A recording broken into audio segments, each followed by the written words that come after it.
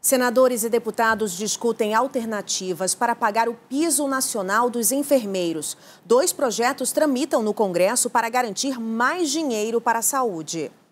A Câmara aprovou um projeto de lei que poderá repassar até 2 bilhões de reais para as santas casas, entidades privadas sem fins lucrativos que atendem pacientes do Sistema Único de Saúde, o SUS. Nós temos aí a esperança que o Congresso Nacional consiga viabilizar uma fonte, principalmente uma fonte permanente, para que nós possamos pagar o piso da enfermagem. As fontes hoje, até, até hoje colocadas, não são fontes permanentes. Recursos dos fundos de saúde ficariam liberados para cobrir os gastos até 2023. Houve um texto aprovado pelo Ministério da Economia e pela Secretaria de Governo, que define a forma como nós poderemos repassar esses 2 bilhões de reais e nós podemos cumprir esse compromisso que já tem mais de um ano. Já o Senado aprovou a liberação das sobras dos fundos de saúde para estados e municípios.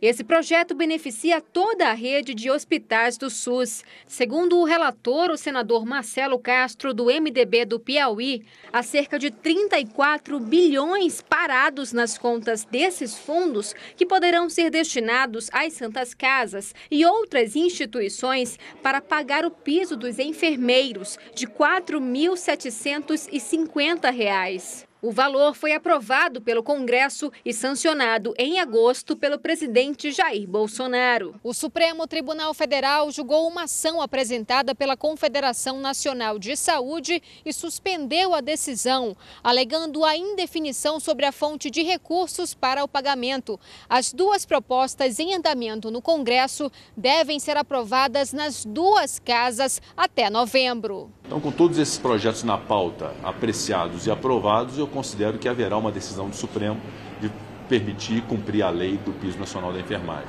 Vamos dedicar novembro a esse trabalho muito intenso aí para a gente poder ter isso resolvido.